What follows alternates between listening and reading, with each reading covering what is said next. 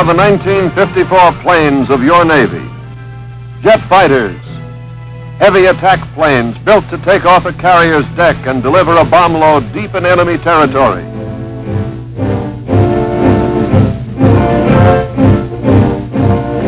Helicopters, patrol bombers, seaplanes, every type of aircraft needed to guard our nation and to strike back at any aggressor. But sleek and fast and modern as these planes are, the ingenuity and inventiveness of aircraft designers will make them obsolete in a short time, as obsolete as the planes of World War II, the planes of World War I, or planes like the one in which the Wrights made their historic flight in 1903.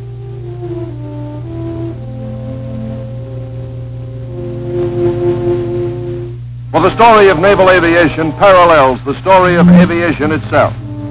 It is progress through conflict. Man against the air. Man against the sea. Man against the airplane. Culminating in the conquest of the air, the sea, the airplane. Just seven years after the Wrights' flight at Kitty Hawk, far-sighted Navy strategists assigned Captain Washington Irving Chambers the job of observing and reporting on aviation developments of particular concern to the Navy.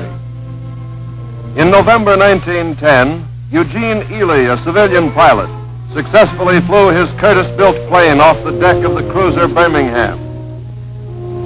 In another demonstration a few months later, Ely used a crude arresting gear of cables and sandbags to land on the cruiser Pennsylvania.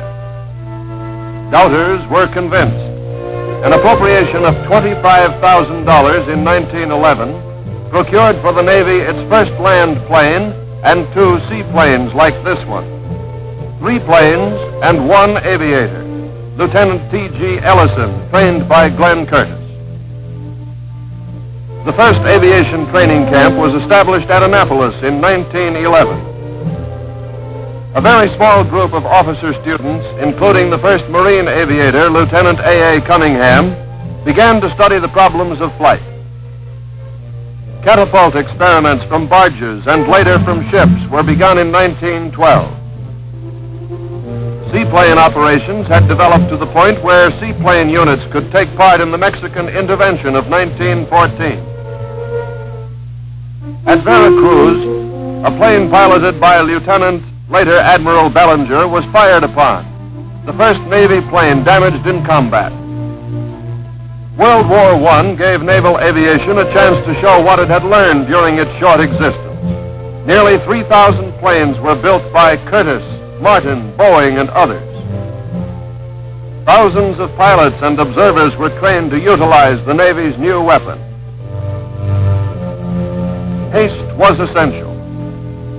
German U-boats were threatening our supply lines and periling the Allied effort. The Naval Aviation Unit, commanded by Lieutenant Kenneth Whiting, was one of the first American groups to reach Europe. From coast bases in England, Italy, and France, flyers took off on U-boat patrols and raided German submarine pens on the North Sea. The Davis non-recoiling rifle was developed as an anti-submarine weapon. Naval aircraft designers had learned much from early wartime experiences. Their combined design talents produced the NC patrol planes, a joint effort of Curtiss and Navy. These were completed too late to see action, however, but a greater future was planned for them. Under Commander John Towers, three of the NCs left New York in May 1919 to attempt a transatlantic flight to Portugal via Newfoundland and the Azores.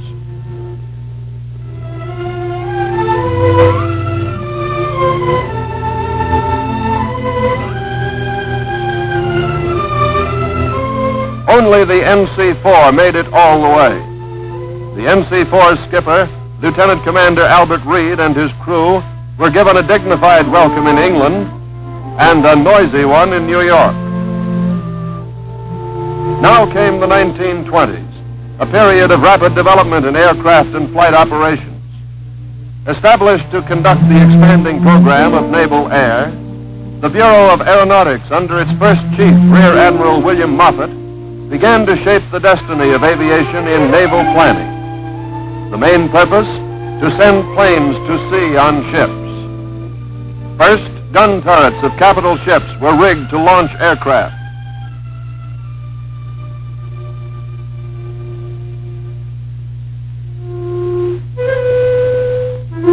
The equipment was not always dependable. To take the risk out of such launchings, catapults were strengthened so that cruisers and battleships could carry their own aerial scouts. Successful takeoffs sent minds leaping ahead to the next logical step.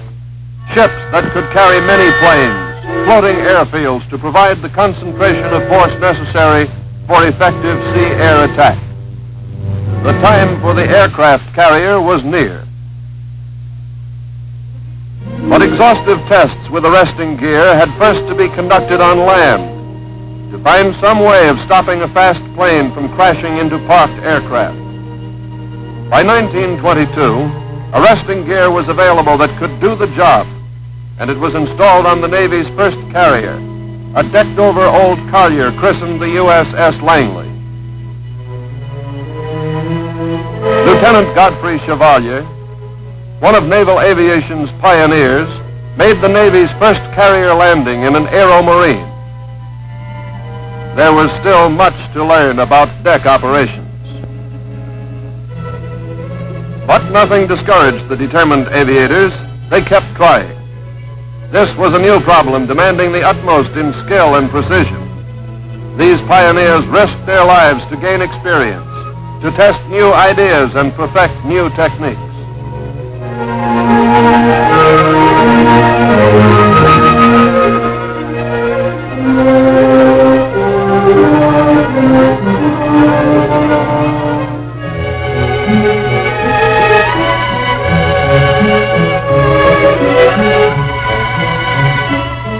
Eventually, their courage and determination paid off. Carrier operations became routine a model of speed and efficiency. And the Navy had a new weapon to use with the big guns of the battle fleet.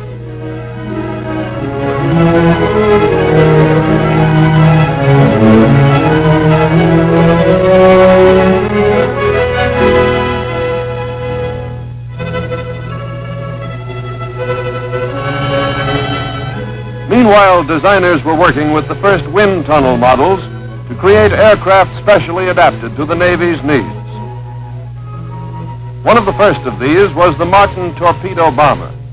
Answering a long-standing hope of naval tacticians, tests showed that in the torpedo plane, the Navy had a potent weapon against the threat of other large navies.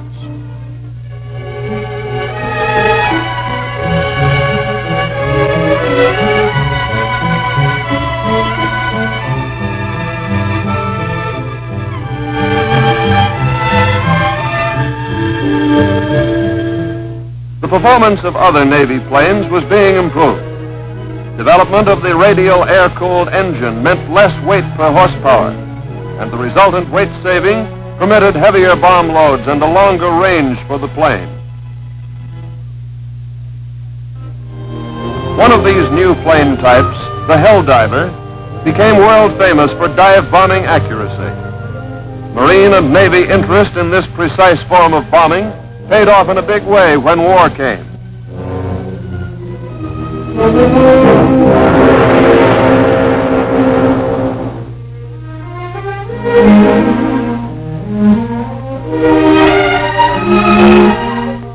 Precision bombing of land and sea objectives was an art, one that had been perfected by years of practice and teamwork.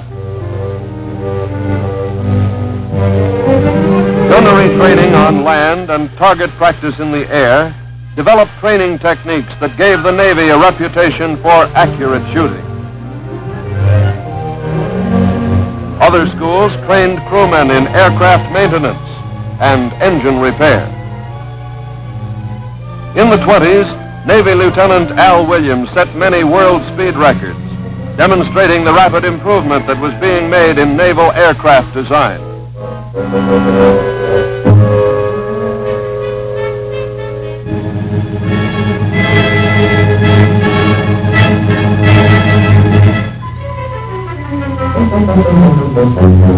Navy competition in international speed classics like the Schneider Trophy Race for seaplanes accelerated design improvements that ultimately benefited all aviation, civilian and military.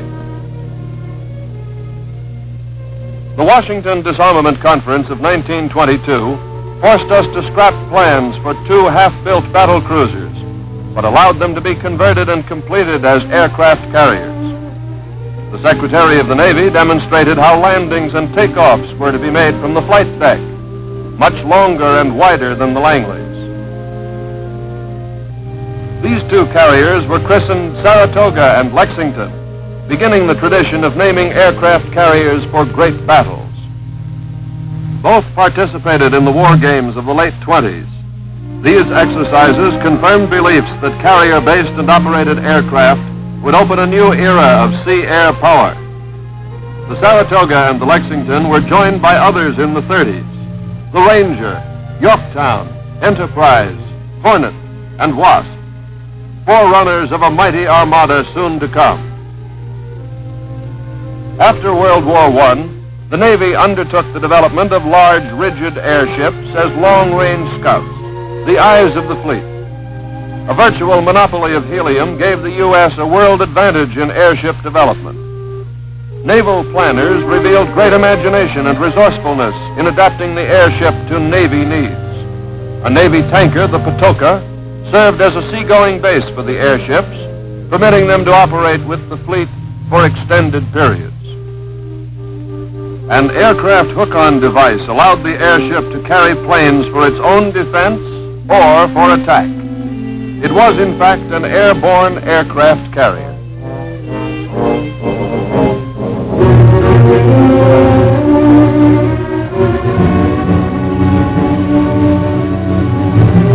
But better performance of Navy planes made the airship scouting value questionable.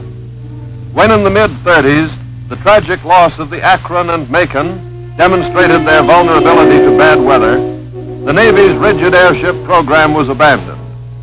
However, blimps, the non-rigid airship, did valuable work as convoy escorts a few years later in the Battle of the Atlantic. In 1925, Commander John Rodgers on the right and a crew of four men left San Francisco in the first attempt to fly to Hawaii. The PN-9, their metal-hulled flying boat, set a world's distance record of 1,800 miles before being forced down at sea.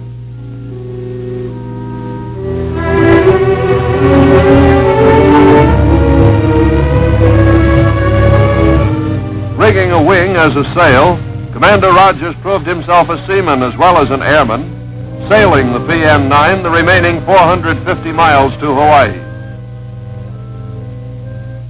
The constant effort to build long-range capabilities into naval patrol aircraft resulted in improved flying boat design.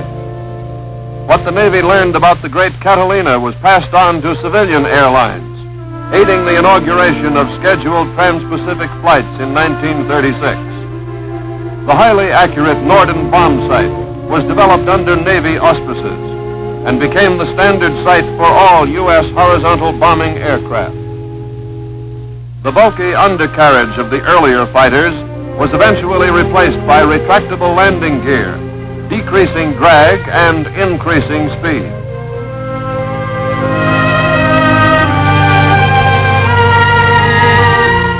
The old biplane gave way to the monoplane, and speeds jumped again. All the developments since the First World War, the long-range flying boat, the dive bomber, the torpedo plane, the concept of a mobile task force, the development of tough and powerful fighters, and above all, the superb training of pilots and crewmen were soon called to meet the greatest challenge our Navy had yet faced. Japanese carrier aircraft struck. When the smoke had cleared and losses were evaluated, our proud Pacific fleet was temporarily out of action.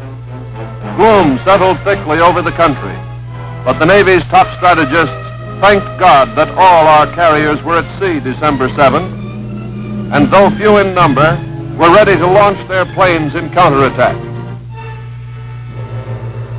Now naval aviation would be given an opportunity to justify the years of its development, the training of thousands of men, the time and money and sweat expended on it. Airmen turned grimly to the task before them.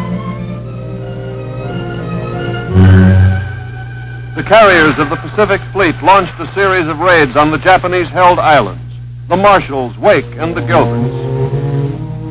In May 1942, they found and stopped the enemy in the Coral Sea. The Japanese were forced to turn back from their goal, Australia. Despite losses, Naval Air won its first strategic victory and followed it a month later by battering the enemy at Midway. This was the turning point in the Pacific War. The enemy was stalled. Hawaii and the United States were spared attack.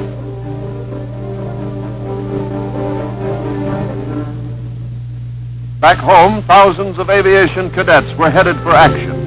Training facilities were expanded rapidly as the tempo of war increased.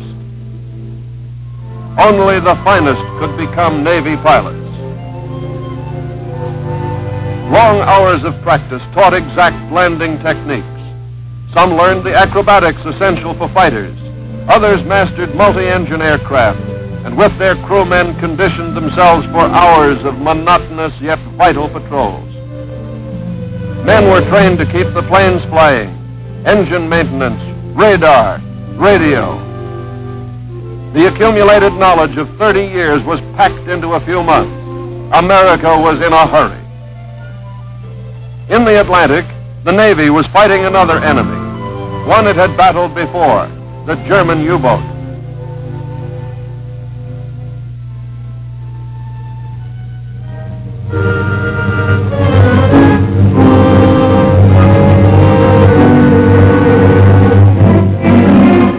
Hundreds of Allied merchant ships went to the bottom before the U.S. could organize its defenses. Navy patrol planes joined forces with surface units to range the Atlantic from Iceland to Rio.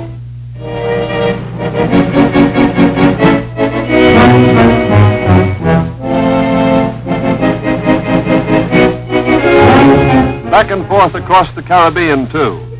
Searching, searching, searching for the telltale periscope, for the foaming wake, for the shadowy reflection of a submarine just below the surface.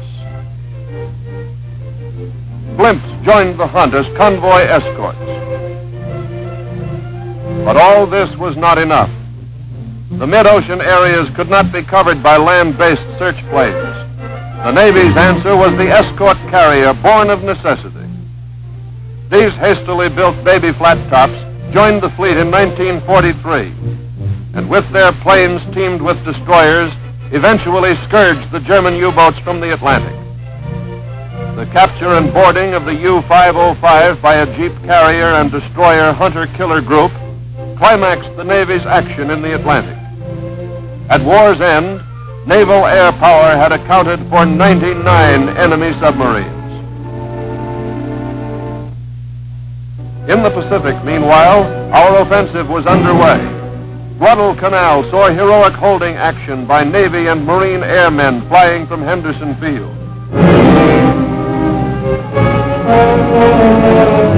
The offensive gained momentum with new fighters like the Hellcat and the Corsair, torpedo bombers like the Avenger. Rockets gave a mighty wallop to our Navy planes. Radar came to our aid, too, on shipboard, in planes, and in anti-submarine operations. No longer could the enemy evade us in darkness or in fog. The all-seeing eye of radar would find him, plot his course, and guide our planes in for the kill. The pattern of the Pacific War emerged as one of island hopping across the reaches of the once tranquil ocean. Army and Marine invasion forces relied on naval air to soften up enemy defenses. Assault leaders spotted enemy emplacements, called for air support to wipe them out. Men in the combat information centers aboard ship plotted quickly, carefully. American lives hung in the balance, waiting for help from the floating airfields.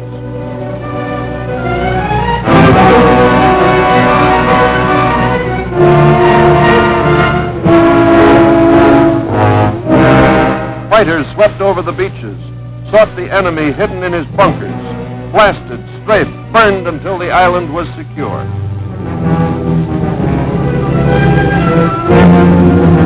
The Battle of the Philippine Sea in 1944, naval air scored its greatest triumph over Japanese carrier aircraft. Now remembered as the Marianas Turkey Shoot, Navy gunners on ship and in the air, and in the space of one day, shot down 400 attacking enemy planes. Japanese naval air was ruined. Its funeral was held at Leyte Gulf. Japan fought back with land-based suicide planes, all the aircraft she could get off the ground. But it was too late. She had been defeated on land, on sea, and most decisively in the air over the sea. Naval aviation had led the way across the Pacific, the Coral Sea, Midway, the Solomons, the Marshalls, the Marianas, the Philippines, finally Okinawa and the Japanese home islands. 30 years of struggle in developing naval air power had paid off in victory. Now the Navy turned to its new job, keeping the peace. The faster and heavier planes of the post-war Navy required a new carrier class, one with a longer reinforced flight deck. The Midway and others of her class were designed as carriers must be, to keep pace with technological advances in ship and aircraft design. For the jets were coming. Squadrons of Phantoms, Banshees, and Panthers joined the fleet. The jet age was here to stay. To keep the peace, an expanded Naval Air Reserve was established at a number of naval air stations throughout the country. Enlisted reservists studied radio, radar, electronics, and jet aircraft maintenance. Weekend warrior pilots filled the skies over naval air stations and participated in fleet operations during summer cruises. Valuable wartime skills were being retained, ready for use in another emergency. The Navy's activities were far-flung in the post-war years. 1946 found a task force in the Antarctic Ocean on a mission of survey and exploration from the air. Planes like this PBM mapped 5,500 miles of the coastline of Antarctica. The next year, the Truculent Turtle, a P-2V patrol plane, shattered all previous distance records by flying non-stop from Perth, Australia to Columbus, Ohio.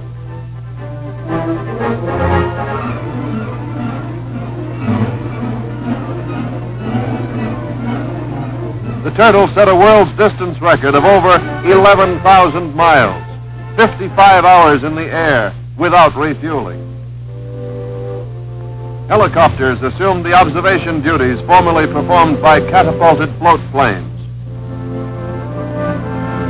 The Navy and the Marine Corps used these versatile craft in many ways in the post-war years. New weapons were tested and added to the Navy's arsenal. This launching of a captured German rocket was only one of many operational tests to determine the feasibility of launching rockets and guided missiles from ships and aircraft. The same explosive force was used to power the high-speed skyrocket beyond the sound barrier and into the future at speeds exceeding 1,100 miles an hour. Aided by reserves of men and planes, naval air was ready to strike back the moment the Korean War started. Air attacks on aggressor strongpoints began within a few days with new attack aircraft and jets going into combat for the first time. Navy and Marine airmen flew round-the-clock strikes to cripple the enemy's communications and transport.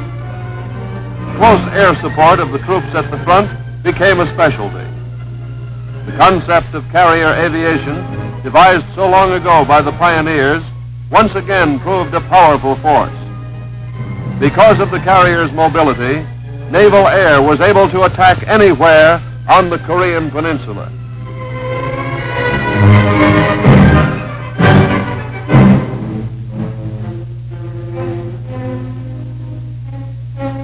Ship and shore-based helicopters transported men and material in assault support evacuated wounded to hospital ships, and rescued Americans trapped behind enemy lines.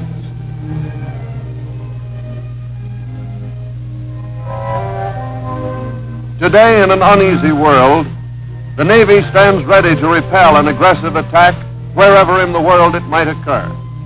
Carrier-based bombers carrying devastating weapons can attack far inland to strike at bases from which such attacks might originate.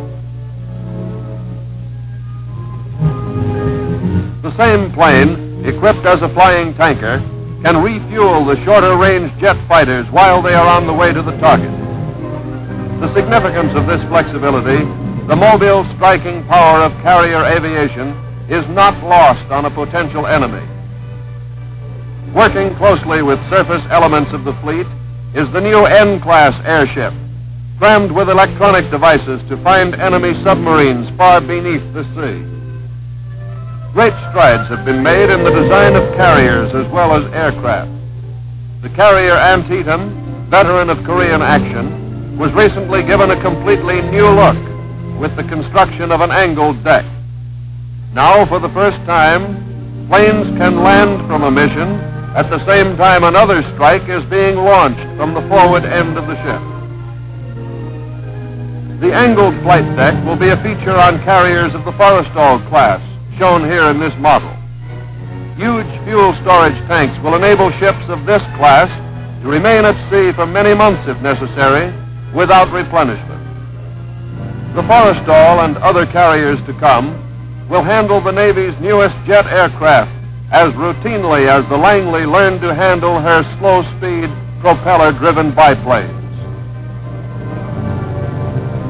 Some of the pioneers of the early days are gone. Men like Moffett, Ellyson, and Rodgers. But new airmen have taken their places. Men who know that wars can no longer be won by land or sea power alone. To be effective, sea power must today have one mighty arm reaching high into the sky.